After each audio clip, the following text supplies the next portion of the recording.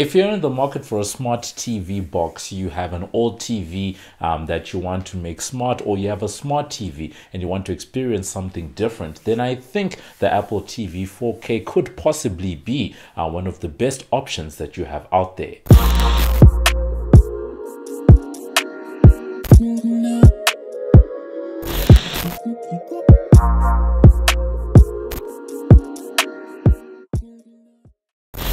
Hey, what up? Is your boy MobbJustice back again with another video. And for today, we get into a review about a year later um, into the Apple TV um, 4K. That is uh, the latest generation of Apple's uh, 4K streaming box. As always, this uh, video is brought to you by the team over at Liyon Media. Uh, head on over to check out some of the crispiest uh, photo, video, and audio content. That's www.liyonmedia.com. Head head on over, uh, check it out, and just see uh, what the team can do for you. As I said, for today, we are getting into a review of the Apple TV 4K. I've had this device for almost a year or so now. It was announced uh, back in April last year, and I remember making a video about it at the time and saying how excited I was, you know, for that specific device, particularly the fact that it had a new remote and all of that. Uh, the device has ended up coming out in May, and then I got it sometime I think in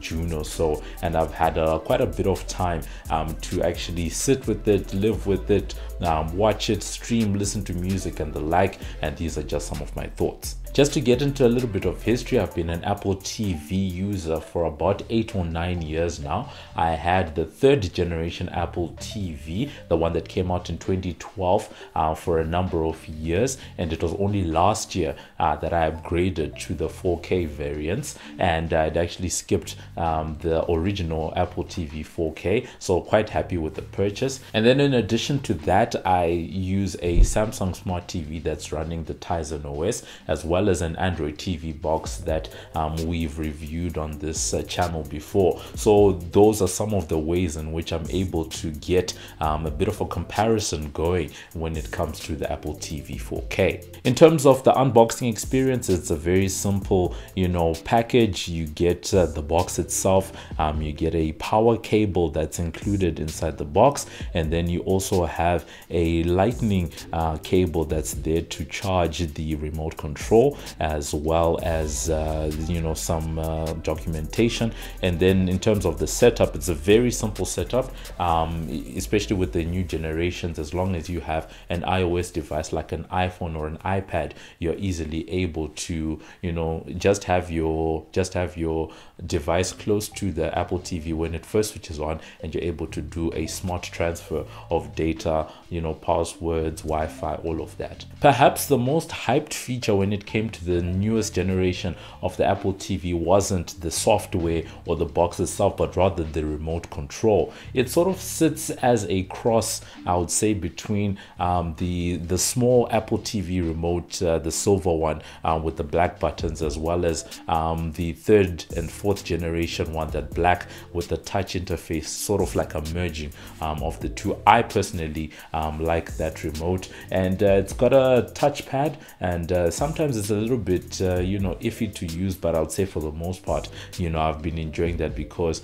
you you have the ability to press buttons but also to use it as a bit of a touch interface. The remote itself has really good battery life because i've been using it for like i said you know close on 11 12 months now and i'm still left with 20 percent battery. I've never charged um, you know this particular remote. For other tasks because the apple tv does allow you to do some gaming but also at the same time as a device um, as an input device if you're searching things like netflix or youtube it's a bit uh, tedious going through you know those uh, scrolling keyboards. You can attach a bluetooth um, keyboard to this device and at the same time um, you can use your phone. Um, the uh, the remote app on iphone is quite excellent uh, for that type of thing When it comes to smart TVs, I would say the most important thing is the software experience. And for me, because I have, um, you know, Tizen OS and Android TV, I'm able to see, you know, the different ways in which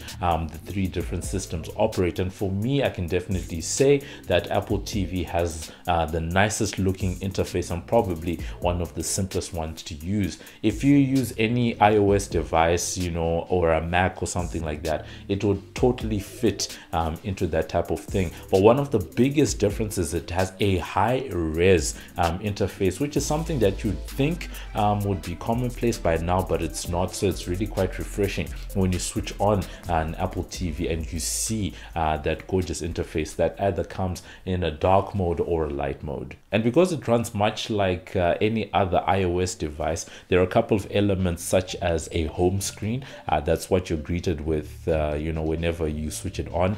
Um, you have the ability to do multitasking. You just double tap uh, the remote and you're able to see, um, you know, your different apps. If you use an iPad or an iPhone, you'd be used to that interface. And then at the same time, you have a control center as well, much like uh, the control center that you see um, on iPhone. There's a control center that allows you to do you know to see your profile your different audio options um, you know and that type of thing one of the key features added to the latest apple tv is spatial audio and that's basically um, audio that allows for quote unquote a real world um, audio experience in terms of placements placements of uh, elements around the screen or room if you use um, you know headphones if you turn your head you're able to have um, the sound and objects moving in real time with you.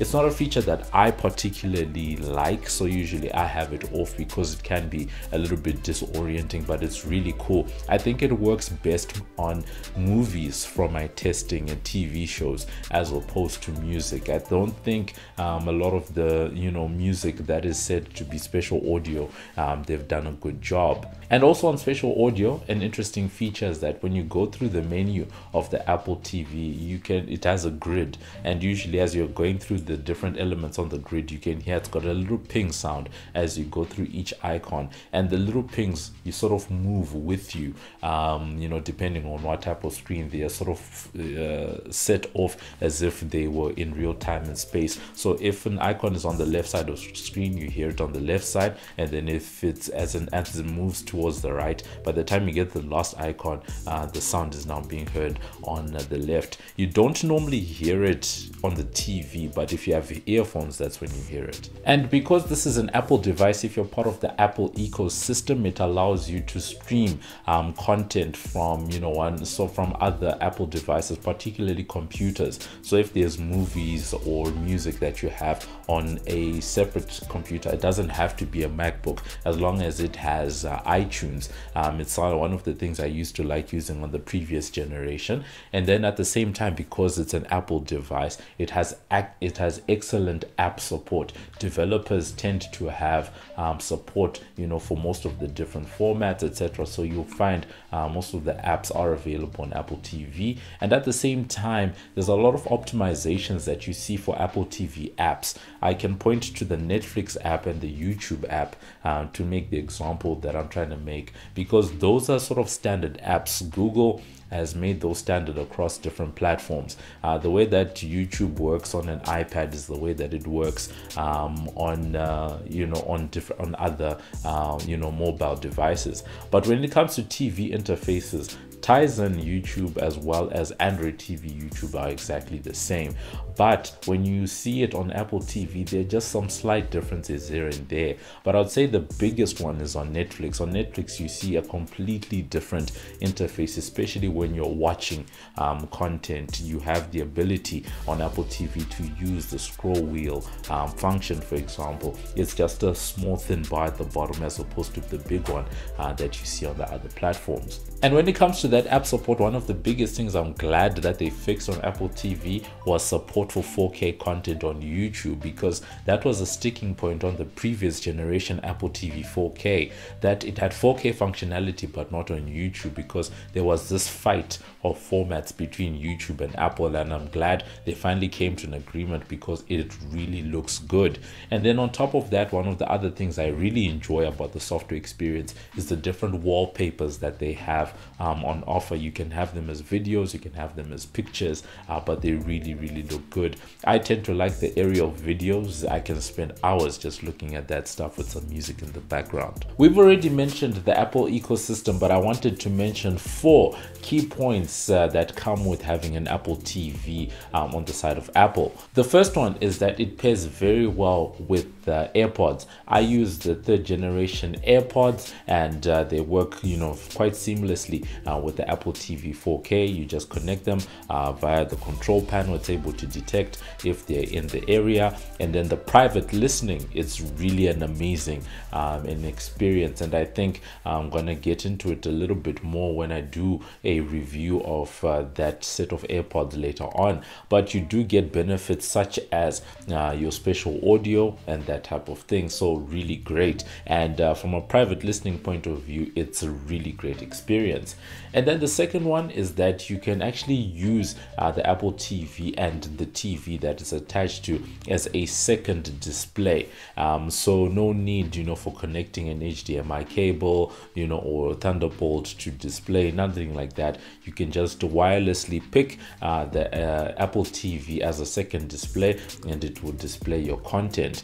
And then the third one is, uh, you know, similarly, um, uh, when it comes to this wireless sharing of content is AirPlay. And that's really been a big thing. You can cast music, you can cast video um, that uh, then appears um, on the TV and then, you know, all of your different collections, especially um, Apple services. It works really well. And I think that leads me on to the last one, and that is around those specific Apple services. The Apple TV 4K is a really really great device for consuming all of these different Apple services. And I think it fits into um, where Apple is going, right? Uh, because they're trying to get more and more people to subscribe to their different services. And this is another conduit through which people can access apple music um, apple arcade for the games apple tv plus for their movies and content. Uh, whilst all at the same time um, being a repository for you know uh, the itunes library as well as you know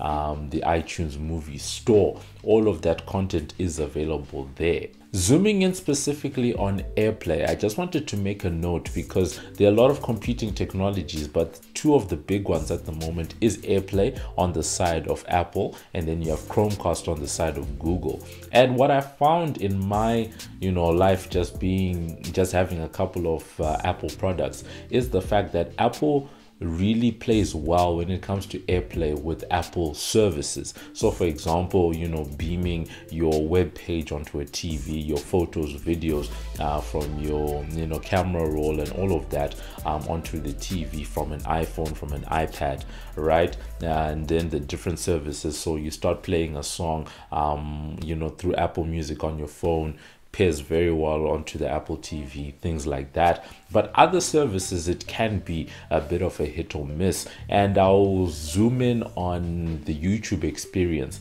Um, I would say that, you know, if you're using YouTube, because a lot of people um, use YouTube as, you know, one of their main um, sources of content. And if you are airplaying YouTube, I think the experience is much better when you're casting through Chromecast.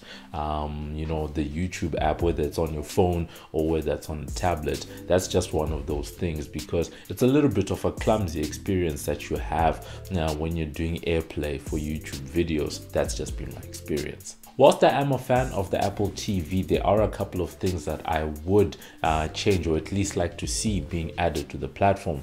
First is uh, support for a browser of some sort. I mean, if you use Tizen on Samsung TVs, and I think even uh, WebOS when it comes to LG TVs, and um, you know Google uh, on the Android side, there is that ability to install browsers of some sort and actually browse the internet. And especially if you're going to connect a keyboard, it can make for a great um, you know web experience. Some people actually instead of going the route of streaming boxes, they actually attach actual computers uh, to their TVs in the lounge. The next three all have to do with ports. First one is uh, having some type of a wired uh, wired audio connection um, because you can connect um, to speakers via Bluetooth and the like, uh, Bluetooth speakers, Bluetooth headphones, but physically having some type of a connection, maybe for some of the legacy systems. Um, so it leaves you with a situation where you have to connect uh, via your TV, a home theater, that type of thing. The last one would be having a USB port of some sort to connect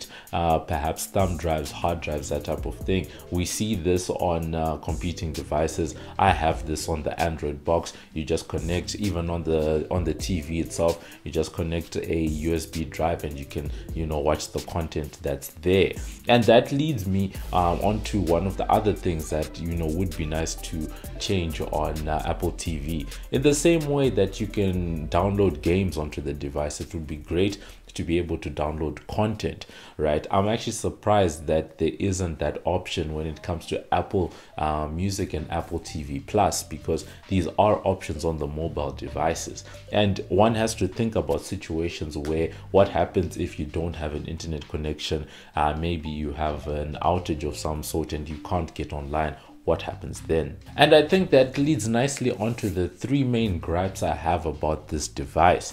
Uh, the first one is the fact that this is not a great offline device. If you're not connected to the internet, it's a really tough device to to actually enjoy because all the content tends to be online unless you are using home sharing and you're streaming um, content um, through that connection. But even that can be hit or miss from uh, my experience.